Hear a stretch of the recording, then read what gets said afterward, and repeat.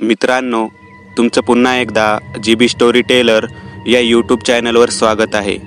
आजच्या आपल्या गोष्टीचं नाव आहे मृत्यूनंतरचे प्रेम भाग पहिला.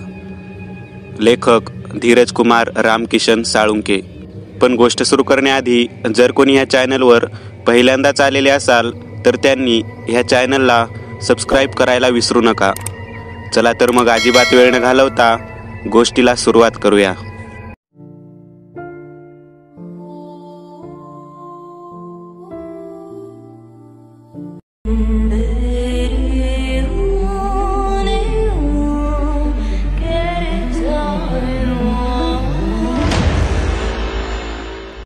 आम्ही पारिजात कॉलनीमध्ये शिफ्ट झालो होतो. तेथे आमच्यासाठी बाबांनी एक छोटासा दोन मजली बंगला भाड्याने घेतला होता. त्या दिवशी दिवसभर घर शिफ्ट करून मी अगदी दमून गेलो होतो. मस्तपैकी जेवण करून मी माझ्या रूममध्ये झोपायला गेलो. मला दुसऱ्या मजल्यावर रस्त्यासमोरची रूम मिळाली होती. जिला एक मोठी खिडकी होती.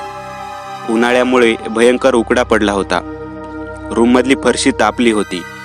रूममध्ये पंखा बसवायचा अजून बाकी होता. त्यामुळे हवा येण्यासाठी मी खिडकी उघडली आणि बाहेर पाहिले. बाहेर अजूनही उजेड होता. घड्याळात पावणे सात झाले होते. खिडकीतून रस्ता अगदी समोरासमोर दिसत होता. रस्त्यावरून जाणारे येणारे लोक सायकल खेळणारी लहान मुले ठळकपणे दिसत होते. माझे लक्ष समोरच्या त्या पांढऱ्या शुभ्र सुंदर बंगल्यावर पडली. कंपाऊंडच्या आत कंपाऊंडला खेटून उभी असलेली नारळाची झाडे त्याच्या सौंदर्यात अजून भर टाकत होते. त्या घराचे गेट आणि माझ्या घराचे गेट एकदम समोरासमोर होते. माझ्या रूमच्या खिडकीसमोर त्या बंगल्याची एक खिडकी होती. ती बंद होती. थोडा वेळ त्या बंगल्याकडे पाहून मी बेडवर झोपायला गेलो.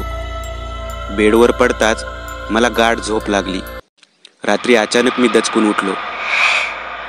रात्री अचानक मी एका मुलीच्या रडण्याच्या आवाजाने जागा झालो. माझ्या रूमच्या कोपऱ्यात एक मुलगी खाली डोके करून रडत होती. ती खूप त्रासात होती. मी खूप घाबरून गेलो होतो. मला प्रश्न पडला की ती मुलगी कोण आहे आणि ती माझ्या रूममध्ये अशी का रडत आहे? मला प्रश्न पडला की मी काय करू? ती मुलगी खूप रडत होती. कोण आहे तेथे मी घाबरून तिला विचारले पण तिने काहीच उत्तर दिले नाही. ती अजूनही रडतच होती. मी औंडा गिळला आणि हळूहळू थरथर ती पावले टाकत तिच्या दिशेने चालू लागलो. मी तिच्या जवळ गेलो. तिच्या समोर बसलो व तिला विचारले कोण आहेस तू? तू का रडत आहेस? पण तरीही तिने उत्तर दिले नाही. मी तिला पुन्हा विचारले तू का रडत आहेस? पण तरीही तिने उत्तर दिले नाही. शेवटी चिडून मी तिला विचारले कोण आहेस तू? तुला पाहायचंय मी कोण आहे? ती मला म्हणाली. मी घाबरून तिला हो म्हणालो. तसे तिने तिचे डोके वर उचलले व मला तिचा चेहरा दाखवला. तो भयानक चेहरा पाहताच मी घाबरून मागे सरकलो.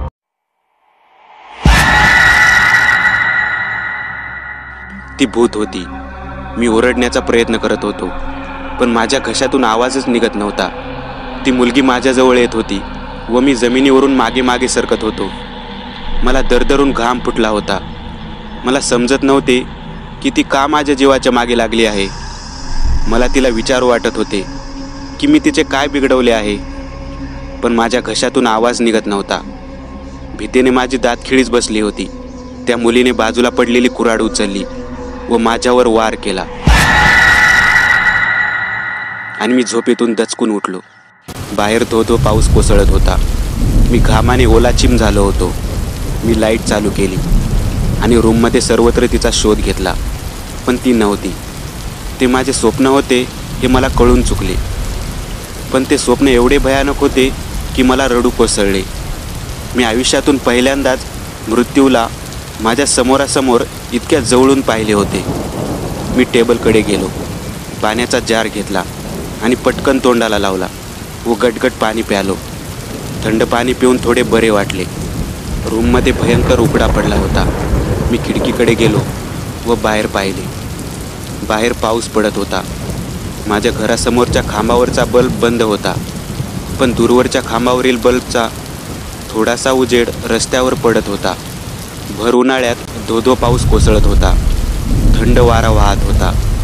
वाऱ्यासोबत समोरच्या घरातली नारळाची झाडे डुलत होती. तसे वातावरण अगदी मन प्रसन्न करणारे होते. पण मला खूप विचित्र वाटत होते की उन्हाळ्यात पाऊस कसा काय पडत आहे? विचार करता करता मला असे वाटले की हा नक्कीच अवकाळी पाऊस आहे. पण संध्याकाळी मी झोपेपर्यंत तर पावसाचे जरासुद्धा वातावरण नव्हते. मग अचानक पाऊस कसा आला? मी विचार करत होतो. जाऊ दे पडत असेल असाच. म्हणून तर अवकाळी म्हणतात. मी विचार करणे बंद केले. आणि त्या रम्य वातावरणात खिडकीत थंड हवा खात उभा राहिलो. मी समोरच्या पांढऱ्या बंगल्याकडे पाहिले. बंगल्यातल्या सर्व लाईट्स ऑफ होत्या. सर्व खिडक्याही बंद होत्या. पण माझ्या रूमच्या खिडकीसमोरची खिडकी उघडी होती. त्या खिडकीत कोणीतरी उभे होते. पण रूममध्ये अंधार असल्याने ती व्यक्ती मला स्पष्टपणे दिसत नव्हती. तेवढ्यात त्या घराच्या गेटसमोर एक बाईक येऊन थांबली.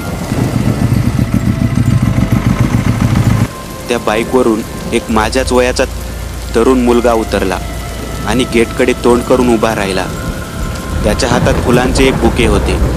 तो भर पावसात डाव्या हातात फुलांचे बुके घेऊन गेटसमोर उभा होता. जेव्हा मी त्याच्या शर्टकडे पाहिले तेव्हा मी पूर्णच हादरलो. त्याचा पांढरा शुभ्र शर्ट रक्ताने भिजला होता. ते पाहून मला प्रश्न पडला की त्याला काय झाले असेल? त्याला कोणी मारले असेल की त्याचा अपघात झाला असेल? आणि अशा जखमी अवस्थेत हातात बुके घेऊन तो भर पावसात असा गेटसमोर का उभा आहे? कारण या अवस्थेत तर त्याला वेळ वाया न घालवता घराच्या आत जायला हवे होते ना? तेवढ्या त्या घराचा दरवाजा उघडला आणि घरातून माझ्याच वयाची एक सुंदर मुलगी बाहेर आली. पांढऱ्या फ्रॉकमध्ये ती मुलगी खूप सुंदर दिसत होती. पण ती जरा घाबरलेली दिसत होती. तिने आजूबाजूला पाहून गेटचे लॉक उघडले आणि पुन्हा गेट लॉक करून त्या मुलाला घरामध्ये घेतले. मी त्या समोरच्या खिडकीकडे पाहिले जी मगाशी उघडी होती. आता ती खिडकी बंद झाली होती. पण त्या रूममधल्या लाईट्स ऑन झाल्या होत्या. खिडकीच्या काचेवर दोन व्यक्तींच्या सावल्या पडल्या होत्या. एक त्या सुंदर मुलीची आणि दुसरी त्या जखमी मुलाची. थोड्याच वेळात त्या मुलीने खिडकीचे पडदे लावले आणि खिडकीच्या काचांवरून त्यांच्या सावल्या गायब झाल्या. मी टाईम पाहिला. रात्रीचे एक वाजले होते. मला समजत नव्हते की नेमका मॅटर काय आहे. तो मुलगा त्या मुलीचा कोण असेल आणि एवढ्या रात्री तो अशा अवस्थेत तो तेथे का आला असेल? मी बेडवर पडलो आणि विचार करायला लागलो. शक्यता फक्त दोन होत्या की एकतर तो मुलगा त्या सुंदर मुलीचा भाऊ असेल किंवा त्या मुलीचा प्रियकर असेल. भाऊ आहे असे म्हणावे तर तो पांढरा ड्रेस घालून आणि बुके घेऊन का आला? आणि एवढ्या रात्री त्या मुलीनेच का दरवाजा उघडला? त्या मुलीचे मम्मी पप्पासुद्धा उघडू शकत होते ना? म्हणजे तो मुलगा त्या मुलीचा प्रियकर असेल म्हणून तर एवढ्या रात्री तो तिला फुलांचे बुके घेऊन आला आहे. त्या मुलीनेही इकडे तिकडे पाहून गेट उघडले आणि गुपचूप त्याला घरात घेतले आणि दोघांनीही पांढरे ड्रेस घातले होते. हा नक्कीच त्यांचा ड्रेस कोड असेल. म्हणजे खरंच तो मुलगा त्या मुलीचा प्रियकर आहे? देवा प्लीज असे नसावे. तो मुलगा तिचा भाऊचा असावा. काय माहीत असे असू शकते की तो रात्री तिच्या प्रियसीला भेटण्यासाठी बुके घेऊन गेला व तिच्या घरच्यांचा मार खाऊन आला. घरी त्याच्या मम्मी पप्पांना कळेल म्हणून त्याने त्याच्या बहिणीला म्हणजे त्या सुंदर मुलीला फोन करून गुपचूप गेट उघडायला सांगितले. देवा अगदी असेच असावे. मी देवाला प्रार्थना करत होतो. कारण तिला पाहताच क्षणी मला ती आवडली होती. त्या रात्री मी फक्त तिचाच विचार करत होतो. तिचा सुंदर चेहरा अचानक माझ्या डोळ्यासमोर येत होता. मला समजत नव्हते की मला हे काय होत आहे. आयुष्यातून पहिल्यांदाच मला असे होत होते. धड झोपही लागत नव्हती. त्या रात्री फक्त तिचाच विचार करत करत मी कसाबसा झोपी गेलो. दुसऱ्या दिवशी मी सकाळी उशिरा उठलो. रोज पहाटे चार पाच वाजता उठणारा मी चक्क सकाळी दहा वाजता उठलो होतो. उठताच मला ती रात्रीची मुलगी आठवली. आणि ती मुलगी दिसेल या आशेने उठताच मी खिडकीपाशी पळत गेलो व तेथे जाऊन उभा राहिलो आणि समोरच्या बंगल्याच्या खिडकीकडे पाहिले. ती खिडकी बंद होती. मी घराच्या दरवाजाकडे पाहिले तेवढ्यात दरवाजा उघडला. घरातून एक बाई आणि माणूस बाहेर आले. ते त्या सुंदर मुलीचे मम्मी पप्पा असावेत. असा मी अंदाज बांधला. ते दोघेही गेटपाशी कोणाची तरी वाट पाहत होते. तेवढ्यात तिथे एक मुलगी आली. दिसायला नाजूक आणि सुंदर पण राहणीमानाने एकदम सिंपल. कपड्यावरून ती एका गरीब घरातली दिसत होती. त्या काकू तिच्यावर थोड्याशा ओरडल्या. आणि दोघे नवरा बायको निघून गेले.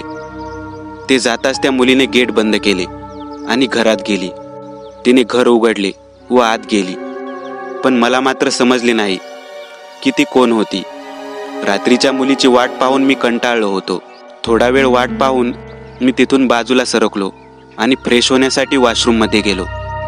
दिवसभर फक्त तिला पाहण्यासाठी मी कधी खिडकीपाशी उभे राहत होतो तर कधी गच्चीवरून तिच्या घराकडे पाहत होतो. पण त्या दुसऱ्या मुलीशिवाय त्या दिवशी दिवसभर मला कोणीच दिसले नाही. दुपारी अंगणातले झाडून काढून साफसफाई करून तीही निघून गेली होती. म्हणजे ती कामवाली मुलगी होती. तेव्हा मला आश्चर्य वाटले की एवढी सुंदर मुलगी कामवाली कशी असू शकते? आयुष्यात पहिल्यांदा मी एवढी सुंदर कामवाली मुलगी पाहिली होती. मी दिवसभर त्या घरावर नजर ठेवून होतो. पण त्या मुलीचे मम्मी पप्पा आणि कामवालीशिवाय मला त्या घरात कोणीच दिसले नाही. देवाला हजार प्रार्थना केल्या. पण दिवसा तिचे दर्शन घडलेच नाही. पण रात्री जेव्हा मी टेरेसवर त्या मुलीच्या रूमची खिडकी उघडण्याची वाट पाहत होतो तेव्हा टेरेसवर अंधारात ती मला फोनवर बोलताना दिसली. तिला पाहून मी खूप खुश झालो होतो. पण मला पाहताच ती तिथून निघून गेली. मला तिचा राग आला. पण नंतर मला वाटले की मला लाजले असेल.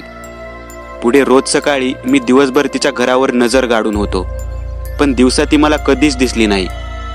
ती दिवसा कधीच घराच्या बाहेर पडत नव्हती. पण रात्री मोबाईलवर बोलण्यासाठी मात्र गच्चीवर येत होती आणि मी तिला पाहताच तिथून निघून जात होती.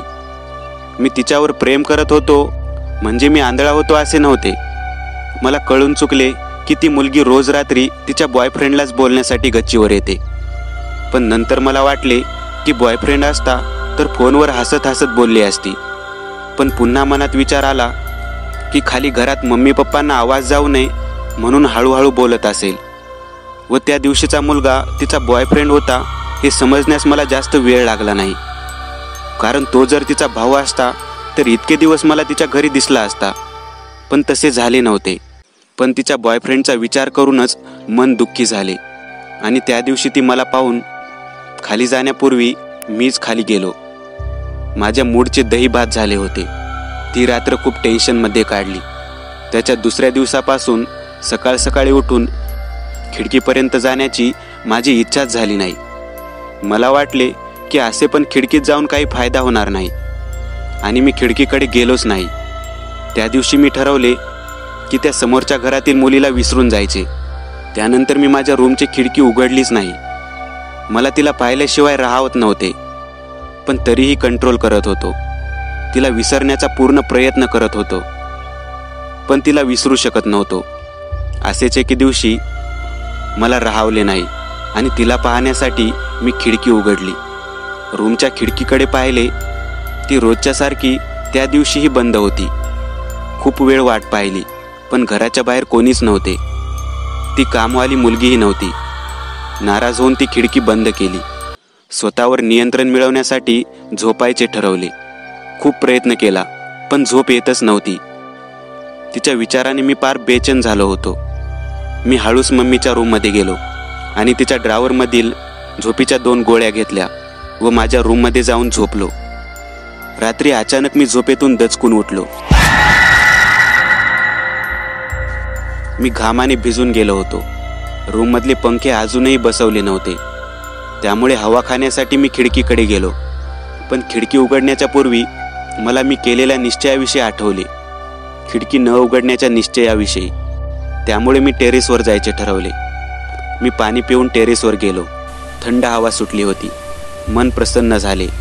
त्या प्रसन्न वातावरणात मला तिची आठवण आली. आणि माझे डोळे भरून आले. मनात खूप दुःख साठले होते. ते अश्रूंच्या रूपात बाहेर पडू पाहत होते. अशात अचानक पाऊस सुरू झाला. पावसाच्या थंडगार सरी माझ्या अंगावर कोसळत होत्या. माझ्या दुःखाला वाहून नेऊ इच्छित होत्या.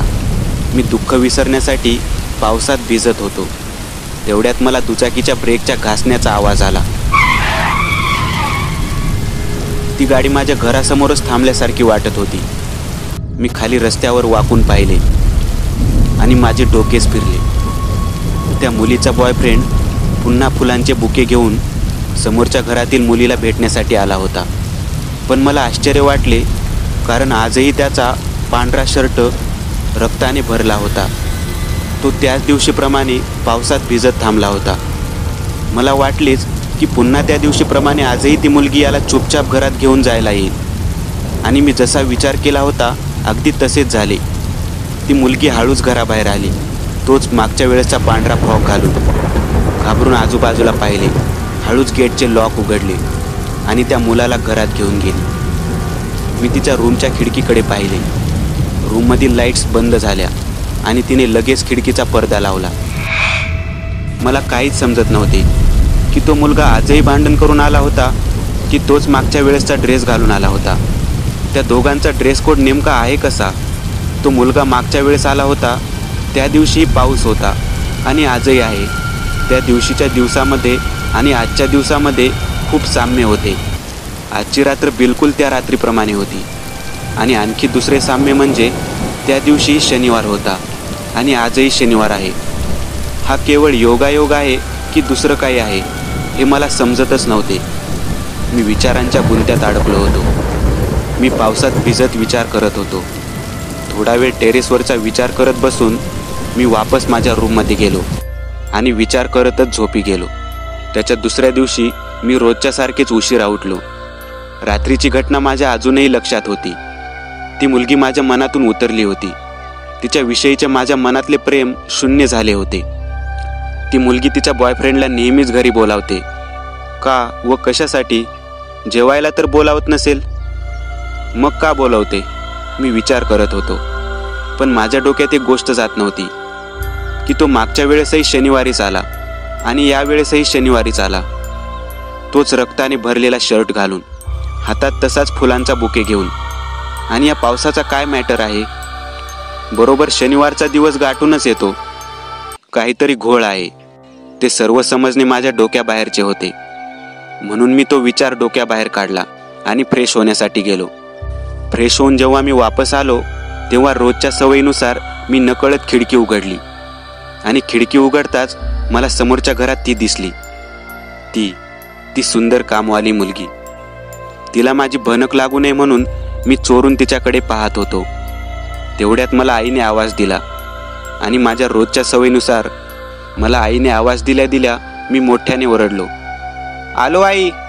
व तेथेच घोळ झाला. माझा आवाज ऐकून तिने माझ्याकडे वर खिडकीत पाहिले. माझी चोरी पुन्हा एकदा पकडली गेली होती. ती माझ्याकडे पाहून हसली आणि खाली मान घालून काम करायला लागली. मला माझ्या डोळ्यांवर विश्वास बसत नव्हता की खरंच ती माझ्याकडे पाहून हसली की मला तसा भास झाला. मी विचार करत होतो. पण मला पुन्हा आईचा आवाज आला. यावेळेस आईच्या किंचाळण्याचा आवाज आला होता. मी धावत खाली गेलो. आई घामाघूम अवस्थेत फरशीवर पडली होती. मी आईजवळ गेलो पण ती बेशुद्ध पडली होती. मी तिला उठवले. पण ती उठलीच नाही. मी धावत किचनमध्ये गेलो. पाण्याचा ग्लास घेतला व आईच्या चेहऱ्यावर पाणी शिंपडले. आई शुद्धीवर आली. तसे माझ्या जीवात जीव आला. मी आईला सोफ्यावर बसवले पिण्यास पाणी दिले व झालेल्या प्रकाराविषयी विचारले. आईवर कामाचा खूप मोठा लोड आला होता. नवीन घरी शिफ्ट झाल्यापासून आम्हाला कामवाली बाई मिळालीच नव्हती. त्यामुळे ती एकटीच काम करत होती. मी तिला गल्लीतल्या त्या सुंदर कामवाल्या मुलीविषयी सांगितले. पण आईने तिला कामावर ठेवण्यास साफसाफ नकार दिला. मला माहीत होते की मम्मी तिला कामावर ठेवायला का नकार देत होती? कारण आमच्या पहिल्या कामवाल्या बाईने सकूबाईने आईला तिच्या एका मैत्रिणीविषयी सांगितले होते. तिची मैत्रीण बिना लग्नाची होती. दिसायला सुंदर होती. म्हणून तिला कोणच कामावर घेत नव्हते. पण एका मॅडमने तिला तिच्या घरी कामावर ठेवले. तिला तिच्या नवऱ्यावर खूप विश्वास होता. कित्येक वर्षांच्या प्रेमानंतर त्यांनी लग्न केले होते. नवरा बायको दोघेही सर्व्हिस करत होते. एके दिवशी त्या मॅडम अचानक घरी गेल्या. घराच्या बाहेर पाहतात तर त्यांच्या नवऱ्याची गाडी. काम सोडून नवरा घरी कसा काय? त्यांना थोडा संशय आला. हळूच आवाज न करता त्यांनी घराचा दरवाजा उघडला आणि बेडरूममध्ये पाहिले. तर नवऱ्यासोबत कामवाली आणि कामवालीसोबत नवरा. नंतर काय होणार होतं? तुटलं त्या मॅडमचं घर त्यांच्या नवऱ्याने त्यांना सोडून त्या सुंदर कामवालीसोबत लग्न केले. सखूबाईंनी घर बदलायच्या वेळेसच आईला सांगितले होते की सुंदर कामवाली बाई ठेवू नका म्हणून. नेमक्या याच गोष्टीची आईला भीती होती. बहुतेक तिला माझी चिंता होत असावी की मी एका कामवाल्या मुलीला तिची सून बनवणार तर नाही ना? मी आईला सरळ सरळ सांगून टाकले. की तू सखूबाईने सांगितलेल्या गोष्टीमुळेच तिला कामावर ठेवण्यास नकार देत आहेस. मग तुझा माझ्यावर विश्वास नाही वगैरे वगैरे असे अनेक डायलॉग जोडले. थोडे रडायचे नाटक केले. शेवटी आईने तिला कामावर ठेवण्यास परवानगी दिली. दुसऱ्या दिवशीपासून तिने माझ्या घरी कामावर येण्यास सुरू केले. तिचे नाव कोमल होते. ती रोज घरी येत होती. पण त्याचा काहीच उपयोग नव्हता. ती जेव्हा माझ्या रूमची साफसफाई करण्यास येत असे तेव्हा आई मला माझ्या रूमच्या बाहेर काढत असे. ती नेहमी कोमलसोबत राहत असे. त्यामुळे माझे तिच्याशी बोलणेच झाले नव्हते. एके दिवशी कोमल कामावर उशीर आली. तेव्हा आई झोपली होती. मला सुवर्ण संधी मिळाली होती. ती हॉलमधली फरशी पुसत होती. मी हळूच तिच्याजवळ गेलो व तिला म्हणालो सर्वात पहिल्यांदा माझ्या रूममधली फरशी पुस. ती खूप घाण झाली आहे. हो असे म्हणत सोबत एक बकेट घेऊन ती लगेच माझ्याबरोबर माझ्या रूममध्ये आली. ती रूममध्ये येताच मी हळूच दरवाजा बंद केला. मी अचानक दरवाजा बंद केल्यामुळे ती थोडीशी घाबरली. दरवाजा का बंद केला? ती घाबरून मला म्हणाली. आधी बस असे म्हणत मी हळूहळू तिच्याजवळ जात होतो व ती हळूहळू मागे सरकत होती. बस ना मी तिला आग्रह करत म्हणालो. मी आग्रह केल्यामुळे ती बेडवर बसली. तसे मी बोलायला सुरू केले. कोमल मी तुझ्यावर खूप प्रेम करतो.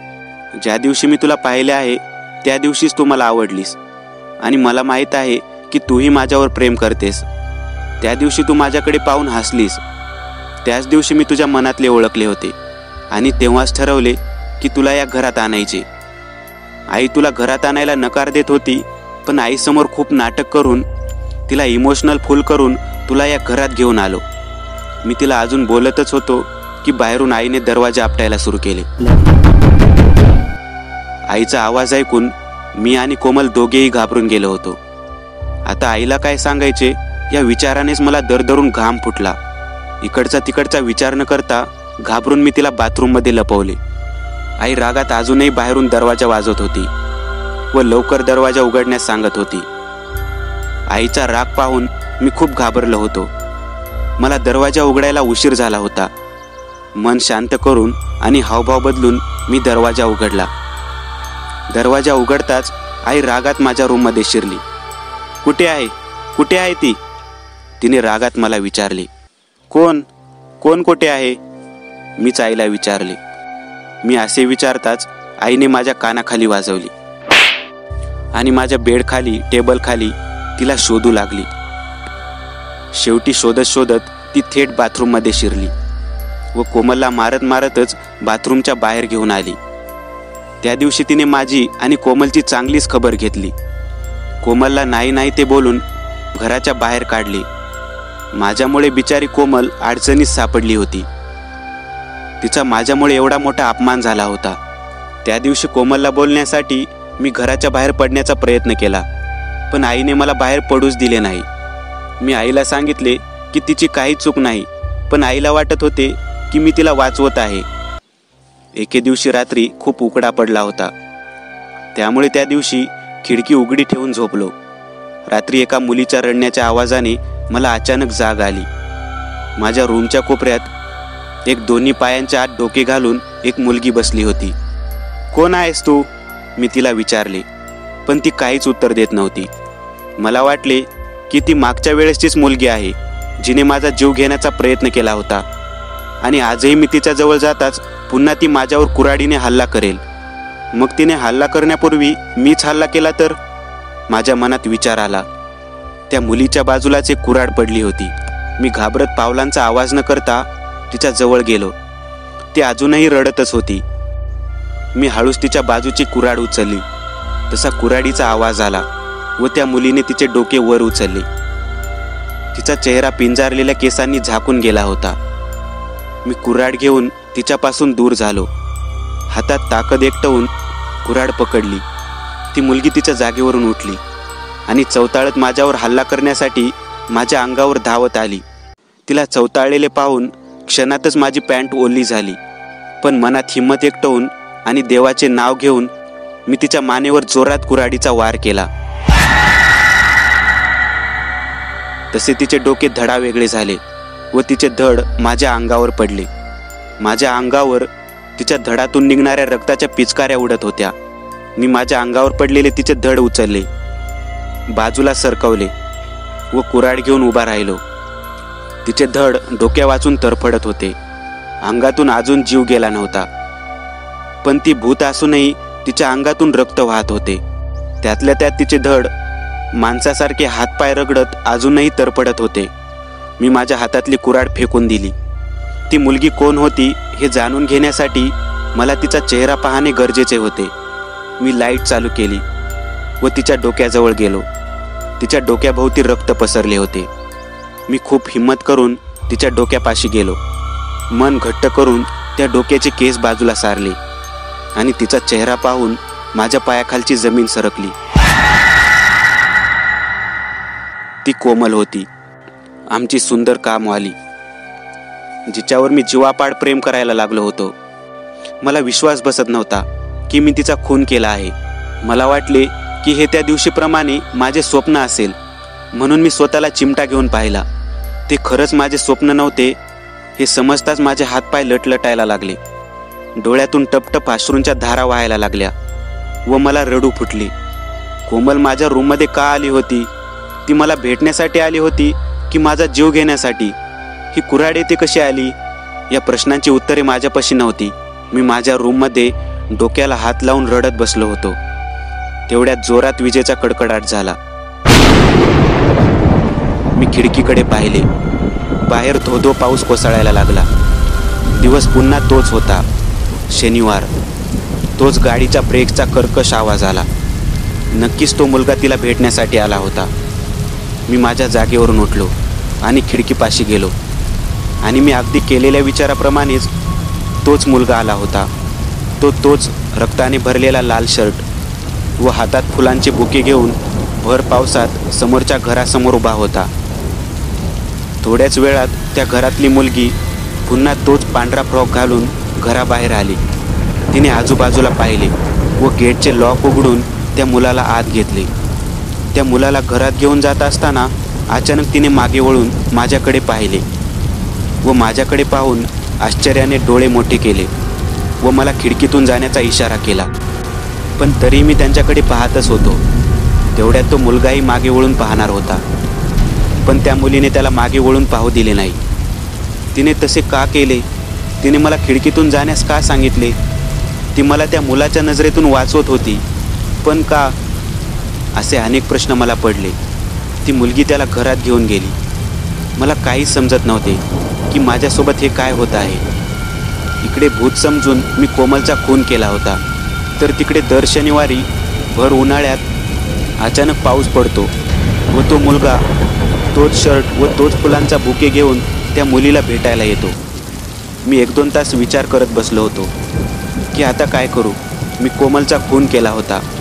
तिचा मृतदेह माझ्या रूममध्ये पडला होता. मनात आले की पोलिसांकडे जावे. पण पोलिसांकडे जाणे म्हणजे जेल आणि नंतर फाशी. माझ्याकडे फक्त एकच पर्याय शिल्लक होता. तो म्हणजे आईबाबांना हा मॅटर सांगणे. हिंमत एकटवून मी आईबाबांच्या रूममध्ये गेलो व त्यांना माझ्या रूममध्ये घेऊन गेलो. त्यांना घडलेला सर्व प्रकार सांगितला. मग आईबाबांनी कोमलचा मृतदेह घरामागील अंगणात पुरून टाकायचं ठरवलं. आणि रात्रीच घराच्या मागे मोठा खड्डा करून आम्ही कोमलचा मृतदेह त्यात पुरला. तो दिवस विसरण्यासाठी मला खूप दिवस लागले. मी ज्या मुलीवर प्रेम केले होते तिचाच खून केला होता. या गोष्टीचा मला खूप पश्चाताप होत होता. कोमलला जाऊन एक दोन महिने झाले होते. तेव्हापासून मी एकदाही माझ्या रूम बाहेर पडलो नव्हतो. ना खिडकी उघडत होतो ना खिडकीकडे पाहत होतो. कारण त्याच खिडकीमुळे माझ्या हातून कोमलचा खून केला होता.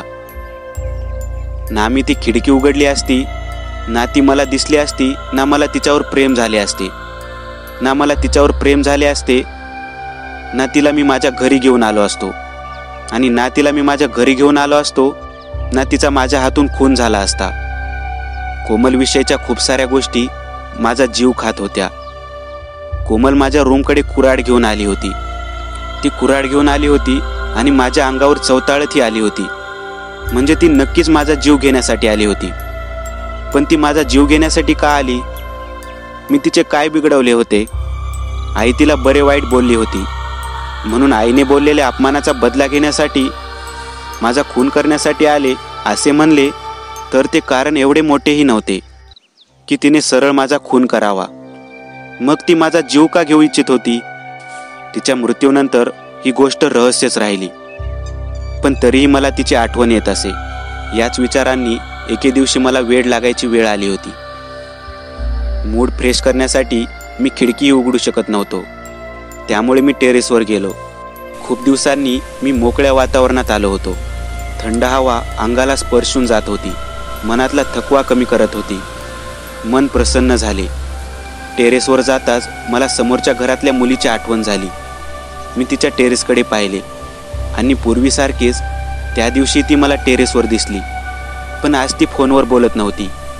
ती पाहत होती एकटकपणे माझ्याकडे. तिने अचानक हात उचलला व मला हाय केले. मी पूर्वी याच दिवसाची वाट पाहत असे पण आता उशीर झाला होता. मला पुन्हा कोणत्या भानगडीत पडायचे नव्हते. व मनातून दुःखी होऊन मी माझ्या रूममध्ये गेलो. मोबाईल काढला व कोमलचे फोटो पाहत बसलो जे मी तिच्या नकळत घेतले होते. तिला पाहून तिच्या आठवणीने माझ्या डोळ्यात पाणी आले. पण मला बाहेर पडायचे होते. त्या नरकातून जो मी रोज भोगत होतो. तिने माझा जीव घेण्याचा प्रयत्न केला होता. तरी मी आजपर्यंत तिच्या आठवणीत रडत होतो. मी वेळ न घालवता खिडकी उघडली व समोरच्या टेरेसवर पाहिले. ती माझ्याच खिडकीकडे पाहत होती. मी हात हालून तिला हाय केले. तिने स्वतःच्या मोबाईलकडे बोट दाखवून माझा मोबाईल पाहण्यास सांगितले. मला एक नोटिफिकेशन पडली होती. फेसबुकची मला तिने फ्रेंड रिक्वेस्ट पाठवली होती. तिचे नाव स्नेहा चिकलकर होते. मी तिची रिक्वेस्ट ॲक्सेप्ट केली. मग पुढे काही दिवस आम्ही रोज दिवस दिवस चॅटिंग करत होतो. टेरेसवर जाऊन एकमेकांना पाहत होतो. तिच्यामुळे मी आईबाबांशी बोलायला लागलो. घराच्या बाहेर पडायला लागलो. कोमलच्या दुःखातून थोडासा बाहेर आलो होतो. एके दिवशी मी तिला त्या मुलाविषयी म्हणजे तिच्या बॉयफ्रेंडविषयी विचारायचे ठरवले. तुला बॉयफ्रेंड आहे? मी तिला मेसेज केला. होता तिने रिप्लाय दिला. होता म्हणजे होता म्हणत आहे म्हणजे आता नाही. पण मी स्वतः तिला बॉयफ्रेंडबरोबर पाहिले आहे. आणि तिलाही माहीत आहे की मी त्यांना सोबत पाहिले आहे. तरीही होता असे म्हणत आहे. जसा तो मेला आहे मी मनातल्या मनात विचार करत म्हणालो. होता म्हणजे मी लगेच तिला विचारले. नंतर सांगते. ती मला म्हणाली मग तो दर शनिवारी तुला घरी भेटण्यासाठी कसा येतो? मी तिला विचारले. नंतर सांगते तिचा रिप्लाय आला. मी लगेच तिला पुढचा प्रश्न विचारला. भर उन्हाळ्यात तो आल्यावरच पाऊस कसा पडतो? कोण आल्यावर? तिने थोडा वेळ थांबून रिप्लाय दिला तुला माहीत आहे कोणते मी तिला म्हणालो. नंतर सांगते तिने पुन्हा तोच रिप्लाय दिला. कधी तिला विचारले. भेटल्यावर ती म्हणाली कधी भेटायचे? मी उत्सुकतेने तिला विचारले. परवा तिचा मेसेज आला. उद्या का नको? मी तिला विचारले. कारण उद्या शनिवार आहे तिचा मेसेज आला. की उद्या शनिवारी तिचा बॉयफ्रेंड घरी येणार आहे व त्यामुळेच ती उद्या भेटण्यास नकार देत आहे. पण तरीही मी तिला विचारले. शनिवार असला म्हणून काय झाले? भेटल्यावर सांगते तिचा रिप्लाय आला. माझ्या मनात अजून एक प्रश्न नेहमी घर करत होता की स्नेहा दिवसा घराच्या बाहेर का निघत नाही आणि रात्र होताच ती टेरेसवर कशी येते असे कोणते कारण आहे की ती घराच्या बाहेर पडू शकत नाही? तिला तिचे मम्मी पप्पा घराच्या बाहेर पडू देत नाहीत का? ते बाहेर पडू देत नाहीत तर का पडू देत नाहीत? मी तिला विचारायचे ठरवले. तू दिवसा घराच्या बाहेर का निघत नाहीस? रात्रीच भूतासारखे बाहेर येतेस? शेवटी मी तिला विचारलेस भेटल्यावर सांगते. तिचा पुन्हा तोच रिप्लाय आला. त्याच्या दुसऱ्या दिवशी म्हणजे शनिवारी तिचा कसलाच मेसेज आला नाही. त्या शनिवारच्या रात्री भर उन्हाळ्यात पुन्हा धोधो पाऊस कोसळला. व पुन्हा तिचा बॉयफ्रेंड तोच पांढऱ्या रक्ताने भरलेला शर्ट व हातात तोच फुलांचे बुके घेऊन आला. पुन्हा एकदा स्नेहा घाबरलेला चेहरा घेऊन व तोच पांढरा फ्रॉक घालून घरातून गुपचूप बाहेर आली. इकडे तिकडे पाहून व नंतर माझ्याकडे पाहून त्याला घरात घेऊन गेली. मला समजतच नव्हते की हे शनिवारी काय होते काय ही भुताटकी आहे.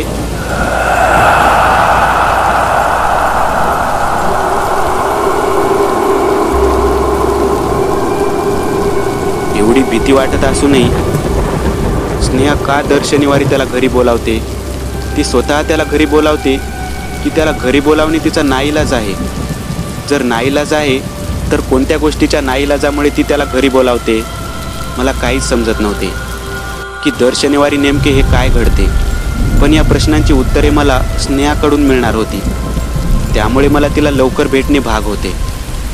दुसऱ्या दिवशी रात्री तिने मला तिच्या घरी टेरिसवर भेटण्यासाठी बोलावले. पण मला थोडीशी भीती वाटायला होती. कारण मी स्नेहाला एकटे समोरासमोर कधीही भेटलो नव्हतो. त्यातल्या त्यात तिने मला तिच्या घरी बोलावले होते. गुपचूप